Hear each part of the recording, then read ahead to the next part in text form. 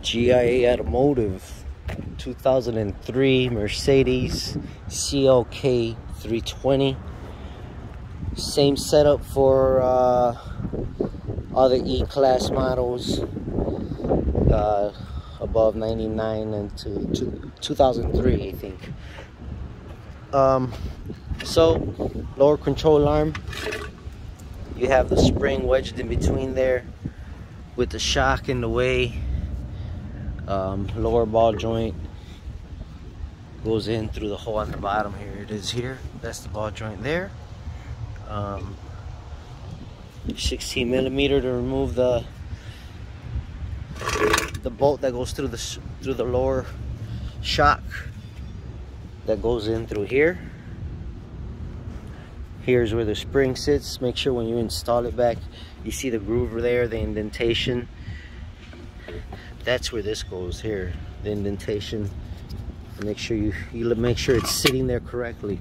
So common issue on this car this model here it's uh if it's too low to the ground already because you need better shocks um, it will smack on this part here that is the most uh, weakest point. Here's another weak point here.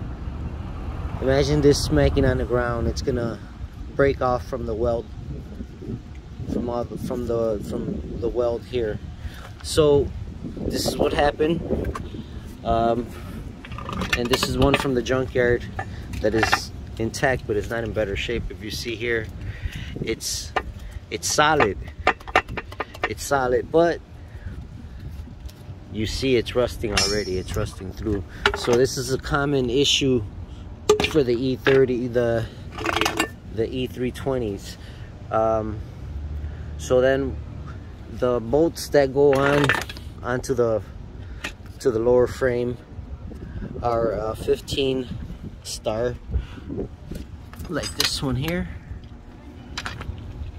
or like this one here is what I this was my setup here I used a swivel and it's a T55 um, to remove those uh, long bolts that go through here. And then when there's a nut on the back of it that you have to remove first. It's a 21 millimeter.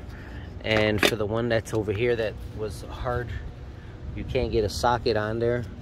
I just did it old school with a regular 21 millimeter and uh, broke it loose and just went a quarter at a turn until the nut came off. And then after you get everything loosened up make sure you take the nut off from the top. That's the 22 millimeter for the ball joint nut on the top. And then hit it right here. Hit it right here and the vibration will knock it knock it loose. And you'll be able to get it out. So uh, as you can see here this was already replaced at one point. This was a junkyard part um, just a really bad pothole is what knocked it out. So um, the sway bar the sway bar that is connected to this lower control arm is a 13 millimeter. And uh, yeah so that that's that's all you got to do. So the same same way when you put it back on you're gonna start with the ball joint first.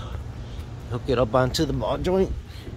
Here with here there. And then you go up here and connect the rest those long bolts. Hook it up to the to the body of the car. All right thank you for watching. Uh, like and subscribe and i'll talk to you guys on the next video